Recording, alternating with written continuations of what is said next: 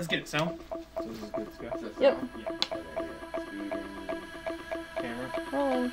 Sleep. Here, episode one, season one alpha, take three.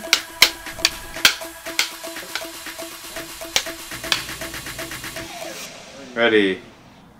Action.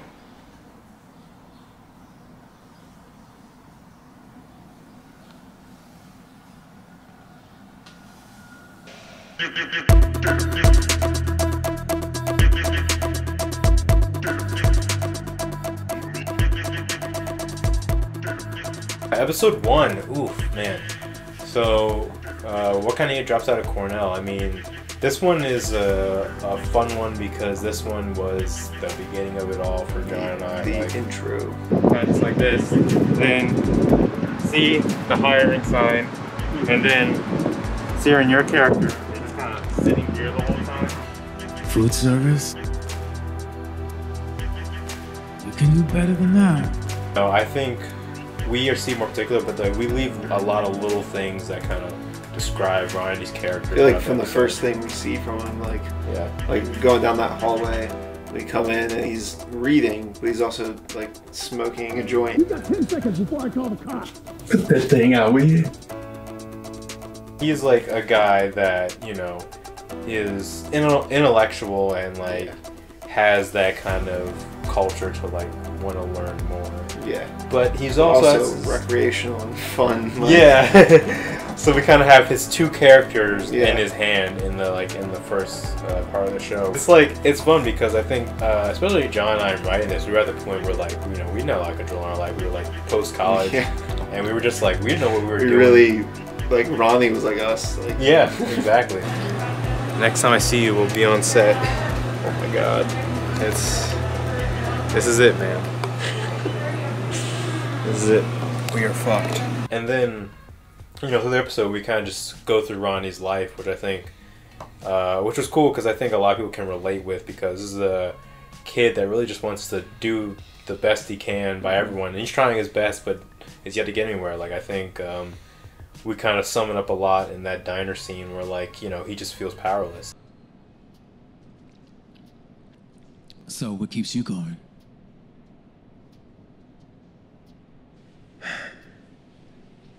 Most days I'm not even sure. It, it, it used to be the idea that I can make a difference. That, that I way my life means something. But then I realized that the world is built for me to fail, so. In the grand scheme of things, I can't control my life. Hmm. it's like he Yeah. wants to change the world but he doesn't see a point you know he has no control of his life Yeah. he's been pushed around he has all these jobs and most of them he doesn't even want to get because it's really just like he doesn't know what he wants to do with his life but you know he's being pushed in a situation because his grandpa needs money and he can't Yeah. just let him go without it Mr. Jacobson's breathing down his neck. He's gonna pull all his stuff in the dumpster. yeah I want you and all your shit out of here. Do you understand me? Where are we gonna put it? The fucking dumpster. You know where that is, right? You want us to put our shit in a fucking dumpster? How's that gonna work? Episode one really kind of like it kind of buckles you in. Like it's not i would say it's like the roller coaster yet but it's definitely like hey this is where we're at and this is like where we're at before we take off. Yeah. and i think alexander does a great job in showing uh you know the inner struggle in that character. Like yeah ronnie has a lot of jokes a lot of humor Yeah. but you can see he's really kind of uh, hurt throughout the series and struggling with his own purpose in the world. So in episode one, Ronnie is just he's done. Life is something that he has to do. It's kind of like a going to sleep is about the best thing you can do because you're not living. It's like a temporary death. But he knows he has to wake up again and do stuff. He's trying to be helpful, but he can't help himself, so how is he gonna help anyone else? You know? The exciting thing about episode one is that it's like, whoa, all right, you know, it seems like a normal thing, like a normal thing, and then suddenly you meet Ray, and it's like, okay, this isn't gonna be an average show about like some random, Yeah. like, Ray's not an average guy.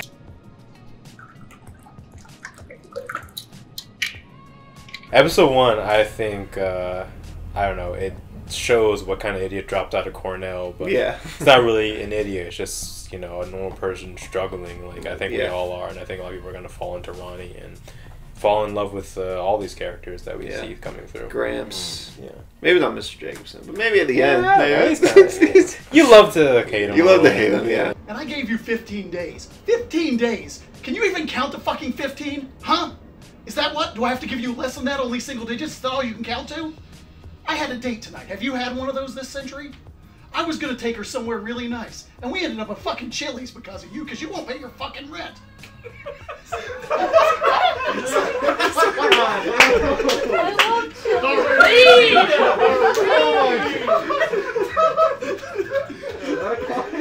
Yeah, that's a kind of.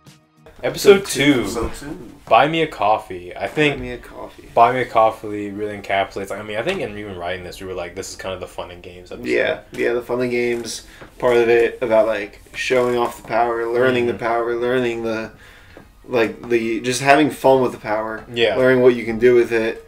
Um, Ronnie gets like chased down. Mm-hmm. Well, so it starts with him like chasing after Mr. Jacobson, Yeah. like confused because he obviously doesn't know what happened. but, Yeah. Um, because episode one ends with just in such a way that like he just this overly bearing guy just like completely goes silent, turns around, and just says like, "Yeah, you can have more time." Okay. You can have a couple more days.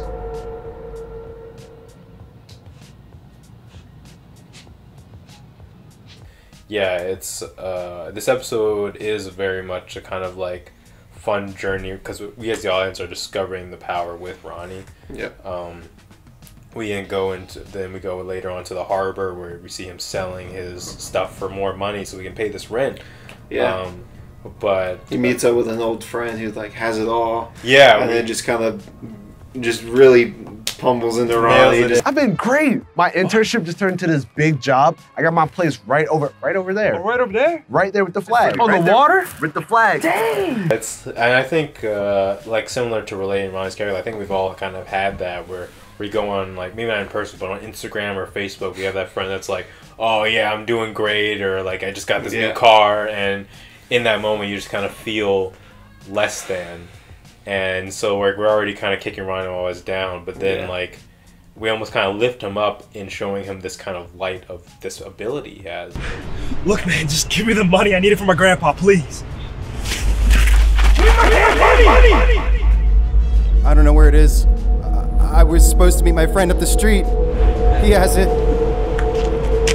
It's the first time we uh, hit at the nosebleed, Yep. which is kind of a um, a key consequence of Yep. this power that we'll we get into later, more later on. Well, then he then he goes like he's like on top of the world. Yeah. He buys a coffee, mixes random poor guy buying a coffee, and uh, then he goes and goes to Gramps, and then he's like living the high life. He's like, I have I have superpowers. Yeah, I got yeah. free coffee. he can got my finally money fight back, you know. I have some control. And then Ron has a whole heart to heart with Gramps where he tells him, to, like, tell him how he actually feels, and that's where you kind of see like the downsides of the power.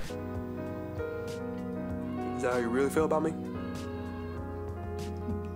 No, no. Look, uh, that that's not what I really meant, Ronnie. I mean, all I, Tell me how you honestly Tell me how you honestly feel about honestly feel about I think you're brilliant and burning with potential, but you wasted. You wasted away college, and now you waste every day of your life.